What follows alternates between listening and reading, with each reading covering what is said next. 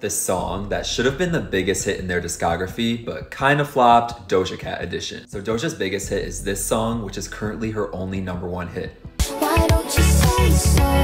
And even though I'm glad that Say So gave Doja her first number one, let's be honest, she has a lot of other songs that deserved this spot. It's kind of crazy how even though all the singles from her album Planet Her were super big hits, none of them hit number one. The song I'm choosing though is a song that's actually not even on any of her albums. When the song came out, it went pretty viral on TikTok and people loved it, but its chart position didn't really reflect that. Doja's verses on it are bold and confident, and the beat is so good, it's really unlike any other Doja Cat song.